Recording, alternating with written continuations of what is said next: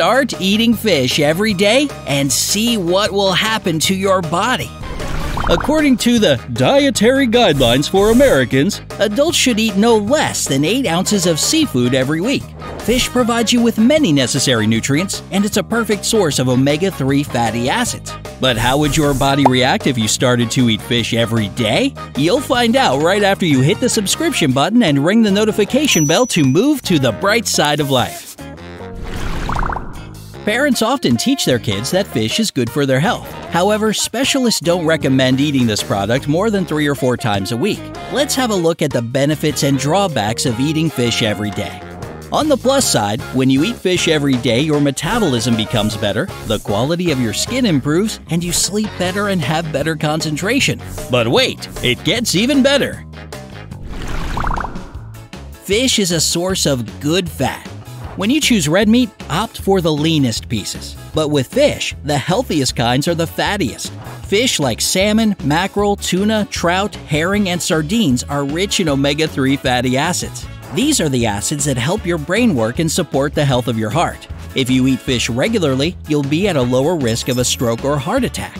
Moreover, omega 3 fatty acids slow down the growth of plaques in your arteries and lower the levels of triglycerides, also known as bad fat.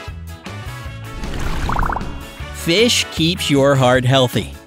Fish is a perfect choice if you care about the health of your heart, and there are fewer cases of heart attacks among people who eat fish every day. This is all thanks to omega 3 fatty acids combining with other nutrients to protect you from heart diseases.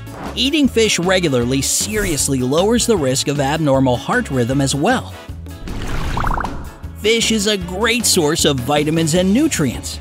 When you eat fish, you provide your body with vitamins B2 and D, magnesium, zinc, iron, calcium, phosphorus, and potassium. Fish helps reduce the risk of autoimmune disorders. The immune system of a person with an autoimmune disorder mistakenly attacks and destroys healthy body tissue. One of the most widespread kinds of this disorder is type 1 diabetes. It has been proved that people who eat fish, and consequently the omega 3 acids it contains every day, don't suffer from type 1 diabetes as often as those who don't have fish in their diet. Fish helps fight depression. Scientists don't know the reasons for this phenomenon yet, but people who eat fish every day suffer from depression much less than people who avoid this food. One reason for this could be that a healthy diet keeps you in a good mood. In addition, omega-3 fatty acids increases your levels of serotonin and dopamine, two of the most famous feel-good chemicals. Fish also has natural anti-inflammatory properties, making your blood flow better. Your brain starts to work more effectively as well, and your mood swings get smoothed out. Fish is a source of vitamin D. Why is this vitamin so important? It helps your body absorb different nutrients. If you have a lack of vitamin D, you may start to suffer from vitamin deficiency even if you take vitamin supplements. Your body usually synthesizes vitamin D in the sun, but if it's winter or you spend a lot of time inside, fish is one of the few remaining sources of vitamin D. People who eat fish have sharper minds. The brain starts to function less effectively as you grow older, and the time you need to respond to a stimulus gets longer. On top of that, your short term memory may start to let you down. That's a normal process called age related cognitive decline, and in most cases, there's nothing to worry about. However, this condition can sometimes result in Alzheimer's. Interestingly, cognitive decline is slower in people who eat fish regularly. It also turns out that people whose diet includes a lot of fish have more gray matter in those areas of the brain responsible for emotions and memory. Gray matter is brain tissue which has neurons that store memories and process information. These benefits of eating fish every day sound amazing, don't they? But let's have a look at the drawbacks of such a diet. You know that omega 3 fatty acids are beneficial for your health, but too much omega 3 can have a blood thinning effect. That's not too dangerous if you're perfectly healthy, but people who take blood thinning medications or are susceptible to bleeding can have serious problems. If you include a lot of fish liver or fish liver oil in your diet, you might have too much vitamin A accumulated in your body. This can lead to very unpleasant consequences diarrhea, nausea, headache, and skin irritation, for example. It's especially dangerous for children and pregnant women. In the worst cases, people who consume too much vitamin A can suffer from bone thinning and liver damage. Happily, you're unlikely to have such complications from eating fish. They are typically caused by an overenthusiastic use of vitamin A supplements. The most dangerous thing about eating fish every day is mercury poisoning. Mercury, aka quicksilver, is a substance that occurs naturally in the environment. While small amounts of this substance won't harm you, too much mercury is extremely dangerous, especially for small children and unborn babies.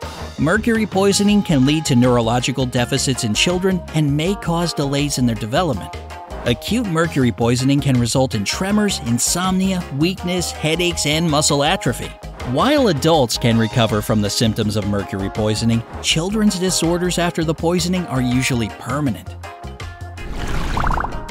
Predatory fish generally contain more mercury than other types. First of all, they feed on small fish, which contain their own mercury.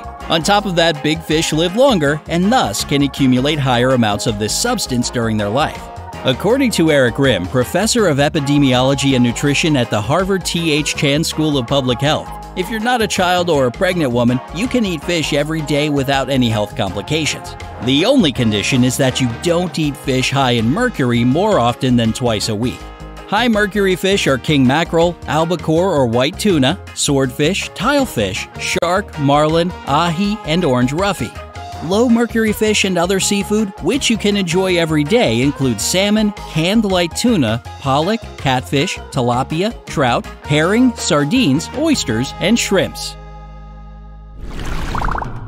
Now you know all the pros and cons of eating fish every day and can draw your own conclusions, just like Paul Greenberg did. This American decided to experiment with his diet. After learning about the benefits of omega 3 fatty acids, he resolved to eat fish every day for a year and see how his health would change. Before starting this experiment, he visited different doctors and documented his medical parameters. He had somewhat elevated blood pressure, insomnia, and some issues with cholesterol. From time to time, he also suffered from depression. He hoped that a fish diet, along with the miraculous effects of omega 3 fatty acids, would help him resolve these problems. During the following year, the man had more than 700 meals that included fish and seafood. However, when he returned to his doctor a year later, he was shocked and disappointed to find out that his health hadn't changed a bit. The only difference was that his blood pressure became slightly higher, but this could have been the result of his increased salt intake. Moreover, he had rather high levels of mercury in his blood. On the other hand, the man stated that he felt wonderfully healthy. His relatives and friends also added that he looked better than before. How many times a week do you eat fish, and what is your favorite kind? Tell us about your preferences in the comments section below. Shrimp is my favorite. Remember to hit the like button, share this video with your friends, and join us on the bright side of life by subscribing to the channel.